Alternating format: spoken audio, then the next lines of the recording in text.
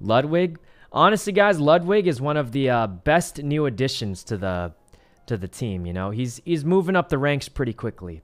Um, right now, I think he's one of our top extortionate. I mean, uh, tax collectors. Um, he's he's doing a great job. Great, great job.